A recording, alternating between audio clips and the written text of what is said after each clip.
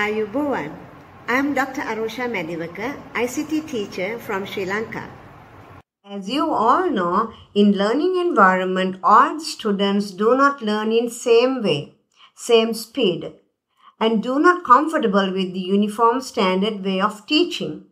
Slow learners are the individuals who take more time than average to understand and process information, but they do not qualify for special need education. We incorporate digital technology to help and motivate slow learners in education.